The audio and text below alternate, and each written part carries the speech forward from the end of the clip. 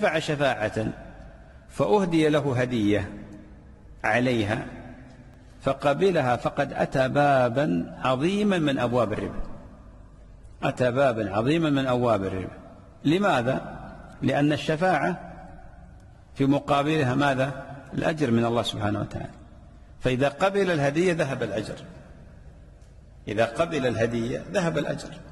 ولذلك العلماء ذكروا العلة في حرمة أخذ الهدية على الشفاعة. فمنهم من قال لأن الهدية تضيع أجر الشفاعة كما أن الربا يضيع الحلال.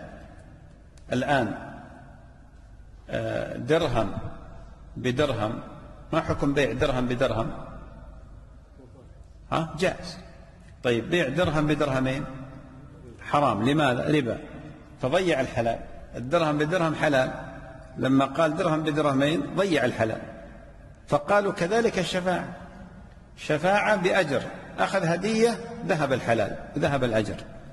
وقيل بأن لأن الربا هو الزيادة في المال من الغير لا في مقابل عوض. ما في عوض. درهم بدرهم ألف بألف. هذا جائز. لكن درهم بدرهمين في مقابل ماذا؟ ما في عوض.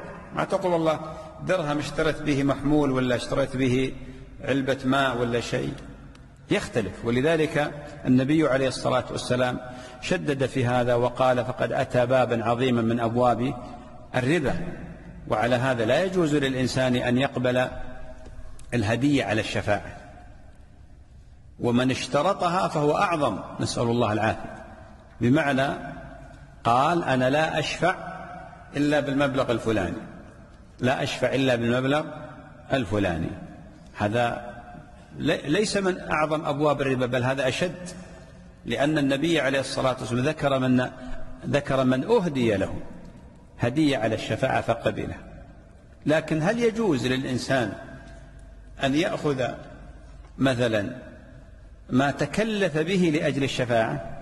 مثال شخص قال له والله أنا أعيش في دبي وأبغاك تشفع لي في أبو ظبي أتزوج من بيت فلان. ركب السيارة وذهب. والبنزين الأيام هذه مرتفع ها؟ أربعمائة درهم.